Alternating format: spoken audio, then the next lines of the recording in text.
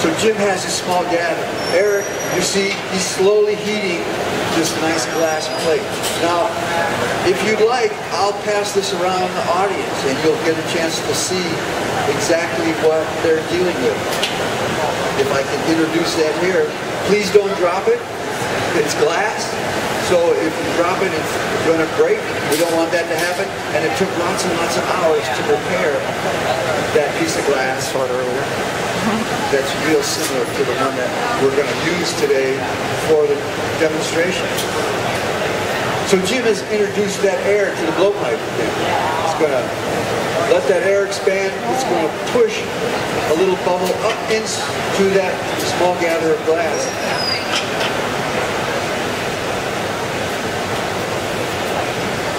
And he'll have a nice little bubble trapped in there. Yes. He's going in and out of the reheating furnace. You see that numerous times when you're wondering why. He needs to heat that glass slowly. If he tries to heat it too fast, it would break. Thermal shock would cause the glass to break. And what he's what you see him doing at the benches, he's rotating that piece of glass because he knows that the very inside of the furnace is hotter than the temperature at the door. So to get a nice even, consistent heat, he rotates that piece of glass. The history of glass is more than 4,500 years old. Glass material has been around for the humans for a good long while. But the glass blowing process is only a little over 2,000 years old. The Romans are given credit for beginning the glass blowing process. And it was around that time when someone discovered that if you collected the glass on the end of a tube instead of on the end of a solid rod, you could introduce air and it opened up an entirely new avenue for working with the glass material. So you see that color inside the furnace getting more and more orange. It's getting hotter and hotter. And that's going to help Eric keep that nice glass plate so that it'll be nice and soft and they can begin their demonstration and do them with that roll up. You see the glow of the orange on the metal bar that means that bar is getting nice and hot, a little over a thousand degrees. The glass itself is getting even hotter. Eric continues to rotate that piece of glass so that he can get it to heat evenly. And I'm going to prepare it so that Jim will have an opportunity to pick that up. He's begun the blowing process by initiating the bubble. And he's used this metal plate that we have here on the right-hand side of the stage, my, my right-hand side, your left-hand side, so that he can cool and shake between the team. There we go. Right, here we go. He's going to touch it up. It begins to roll. There you have it. He's got a nice curve. Now he'll heat that glass on the blowpipe and he'll be able to bring both ends together. And have that very nice decorative pattern that he's set out to use.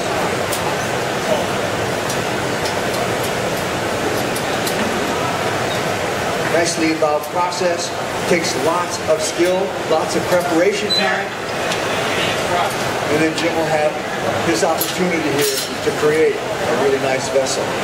Eric's using that wet paper to brush off a little bit of the kiln shelf wash that was left from using it, using that ceramic shelf to heat that glass. Little bits of debris, little bits of kiln wash, if you're familiar with ceramics, might stick there. So to make sure that they don't have any of those real imperfections left on the glass, you can rub them with that paper before they get fused because they've been too hot.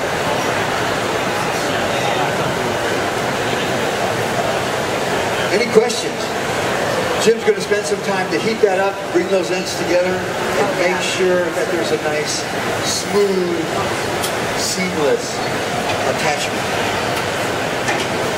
Well, if there's no questions in the audience, why don't I ask you a question? Who knows what glass is made of? What's the main ingredient for glass? Do you know? Sand, yes, but not just any sand, a special silica sand, high in quartz. The more pure that silica sand, the better. Oftentimes there are other minerals mixed in with the sand, and those minerals or impurities will cause the glass to have different colors. If there's a lot of iron in the sand, the, the glass will be green. But of course, different glass creators, glass makers, they use that to understand it to make green glass. You add a little more iron oxide.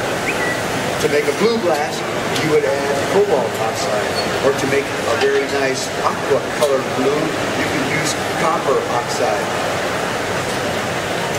Different minerals and metal oxides are added to the glass recipes to form or to make different color of glass.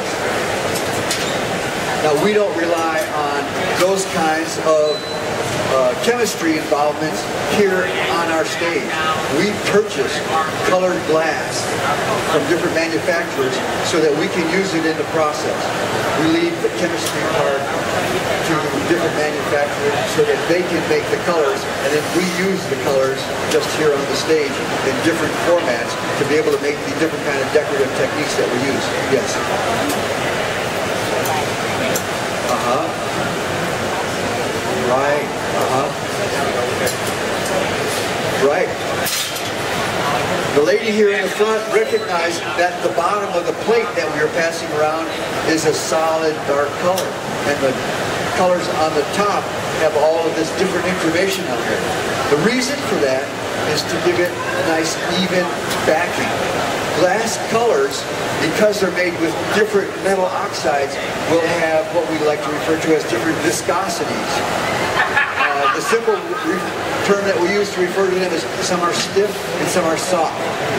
To make it a nice, even and easily available color pattern to blow out, Jim uses one solid color that rests next to the bubble and those other colors then won't have such an influence on how they start to blow out. If you have a solid color, a stiff color next to a soft color, as you're heating and doing the blowing process, the soft color is going to have a tendency to want to expand much quicker. So to alleviate that as much as possible, you use one solid color next to the bubble, and that allows you to have a nice even blow as you expand the bubble. So you've seen Jim working, making that scene, getting it together nicely and smoothly. He's going to do that because he's going to want to collect a little more glass over this pattern. He knows that if there are any little imperfections, any little divots, little dimples, little creases from doing that beginning part of the process, any of those can trap an air bubble. And so to avoid trapping an air bubble, he wants the surface nice and smooth. Now sometimes you'll see bubbles in the glass, and oftentimes artists will use the bubble as a decorative technique. But in this case, we want it to be nice and smooth, nice and flat, so that when he collects the glass over there won't be any of those little bubbles.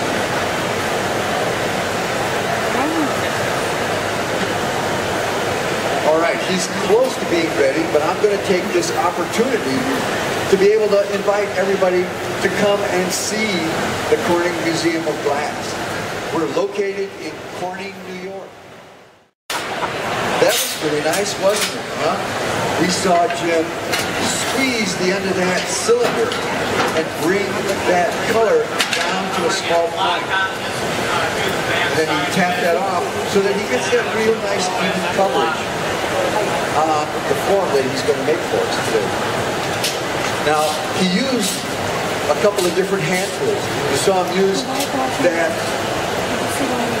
set of jacks. It's a set of tongs, basically, that have flat blades. And he's able to squeeze the glass and cause a constriction in the glass to make it squeeze together. Now, to break that free, you saw him squeeze it with a pair of what we call diamond shears. Those diamond shears are a very special tool for the glass trade because they don't involve diamond cutting surfaces. It's the shape of the cutting surface that forms the diamond. And in doing so, it squeezes the glass to a small point before it cuts it, leaving only a very small scar. If you were to use a straight pair of shears, then he would leave a big long scar in the glass, and it might not be as pleasant to see to look at. I don't want to go much bigger. That wooden scoop tool that you saw him using, he was cooling and shaking glass with that wooden block.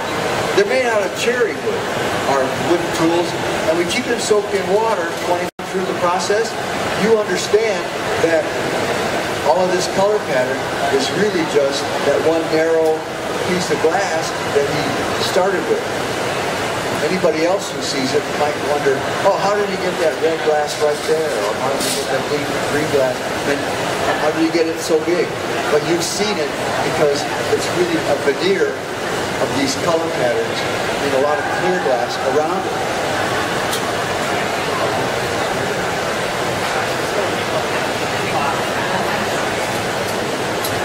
Uh, I'm not sure. This might be the last gather that makes.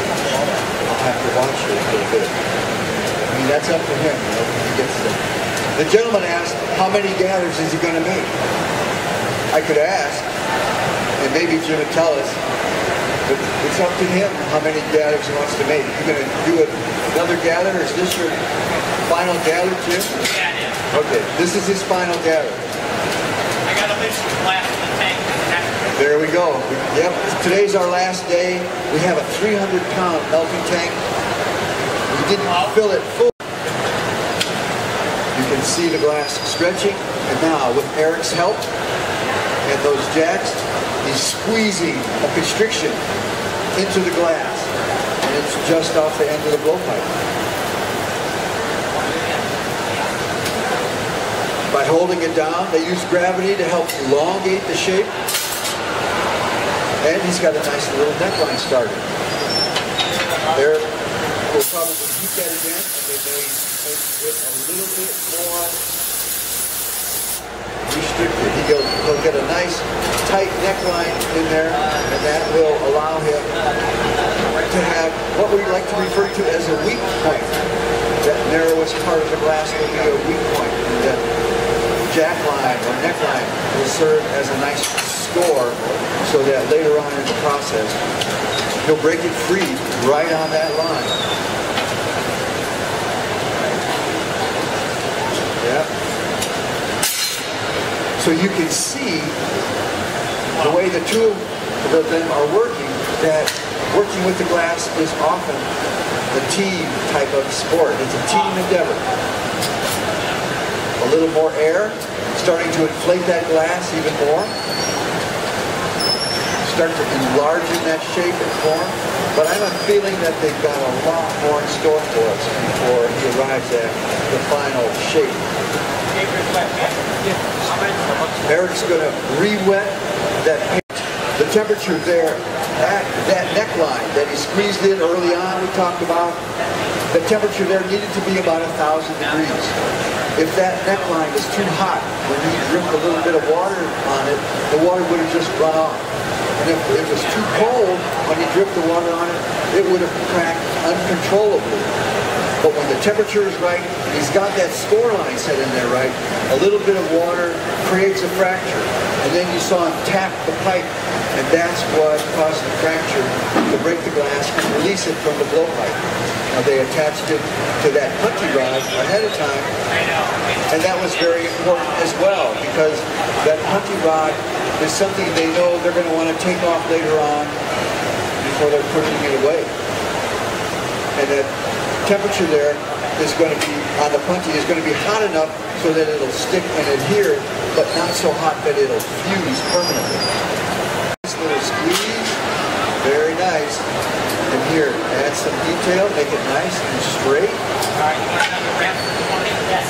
All right, a flash load. All right, get a big wrap, dude. Now, because they've been concentrating the heat on that opening, the bottom half has become cool again. Yeah. And they're going to look to do another wrap on that punty to ensure it stays nice and hot. Doesn't want to detach. They add a little more of that hot glass. Just grip it on to that punty. You can get a little more heat, a little more mass, keeping that glass attached for as long as they need it.